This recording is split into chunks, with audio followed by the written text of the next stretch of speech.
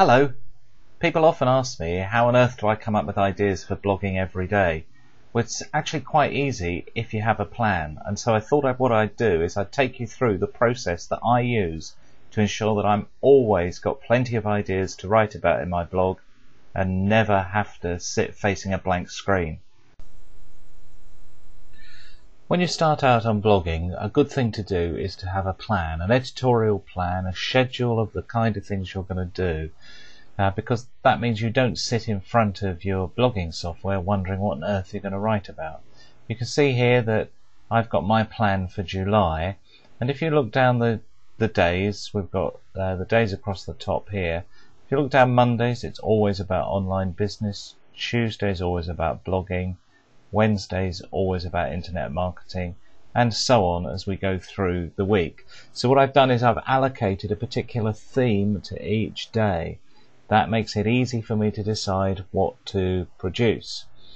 Then what I do is I look at the kinds of topics that I could cover on each of those themes and I just insert them into the particular area. And there'll be some things that will trigger ideas. For instance, here on the 21st of July, is the day on which the final Harry Potter book becomes available. And clearly that's going to be a big seller online, so that would be a good thing for me to write about. Considering I write about online shopping on Saturdays, be a good idea for me to write about that Harry Potter book and the selling of books online.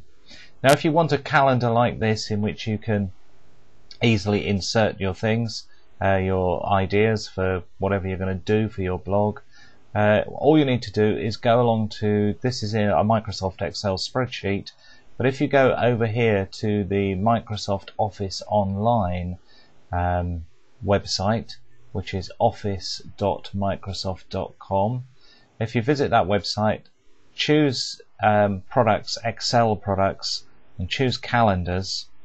Up here you can see there's a template category of calendars.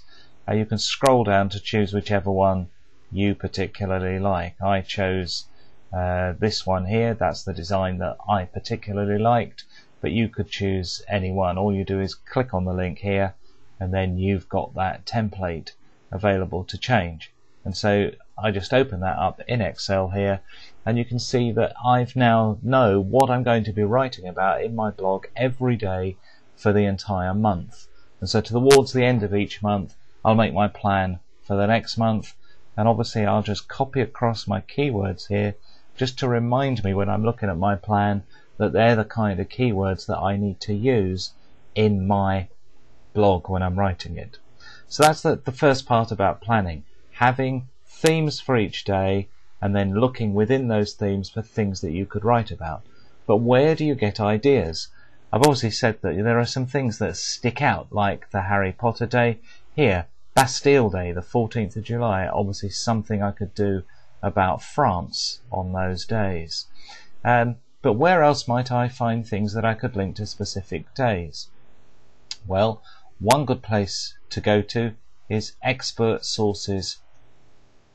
So if you go to expertsources.co.uk and register, you'll see that it includes a whole list here of news events. So things that are happening on particular days plus particular anniversaries.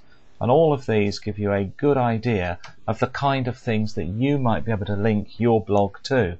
So signing up with expert sources not only gets your name out there as an expert, but it gives you access to this list of uh, events, dates, anniversaries, and so on that you could possibly use to insert into your particular blog. So if we scroll down here, here it is, it's bound to say here the publication of the seventh and final Harry Potter book confirmed there for the 21st of July.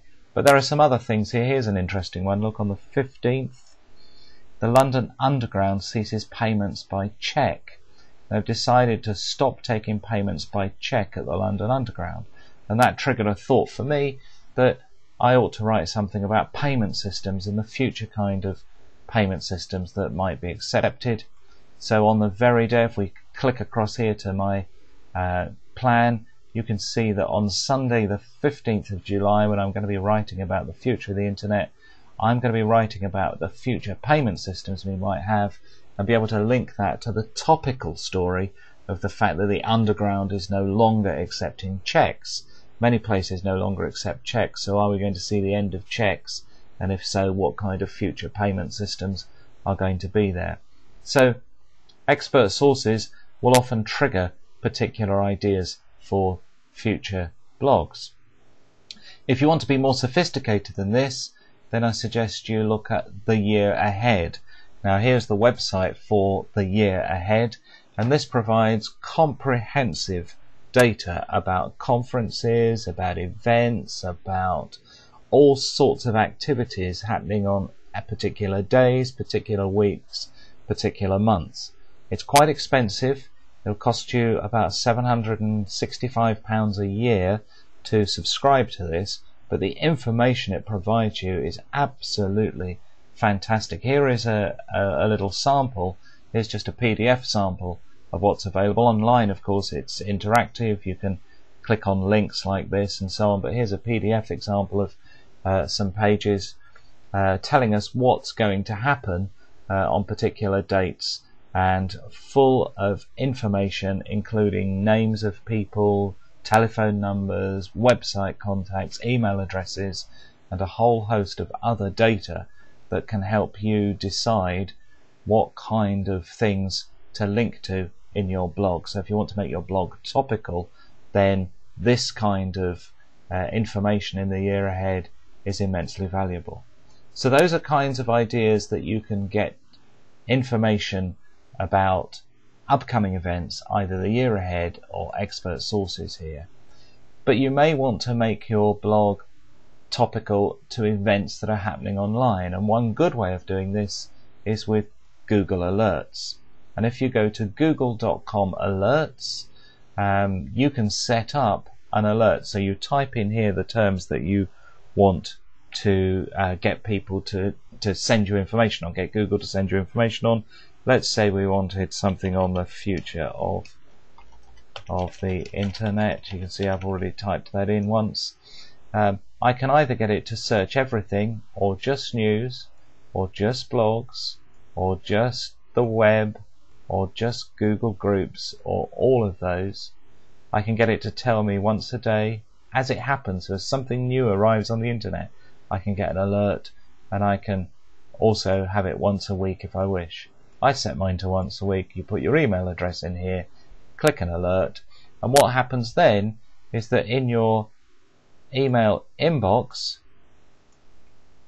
you get Google alerts like this. So you can see that it sends you an alert of all the kinds of phrases that you've been looking for and it gives you web links to click through to all the new kinds of bits of information that have arrived uh, into the Google index um, so you can be updated with all the specific topics that you wish to be updated on. So you can then use those to insert those into your calendar so that you can have a good idea by using Google Alerts by using forward planning systems, you've then got me a means of finding information to write about.